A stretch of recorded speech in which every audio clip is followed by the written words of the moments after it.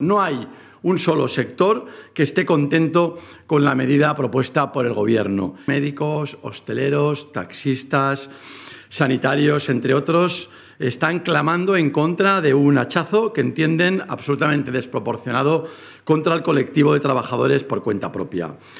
Con el modelo propuesto por el Gobierno subirían las cuotas, para que todo el mundo lo entienda, de más de la mitad de los autónomos de España. En Aragón hay miles de trabajadores que van a sufrir inevitablemente esto. Si no se hace nada para cambiar las cosas, los autónomos que ingresan por encima del salario mínimo interprofesional tendrán un incremento de las bases mínimas del 40%. El autónomo que gane menos de 3.000 euros pagará en cuotas casi todo lo que ingrese.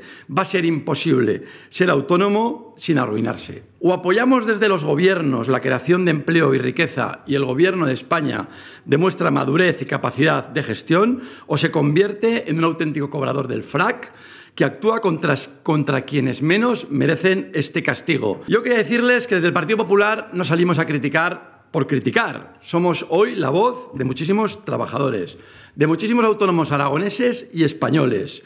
Y proponemos siempre una alternativa indicando cómo el Gobierno lo puede hacer mejor, cómo debe hacerlo mejor.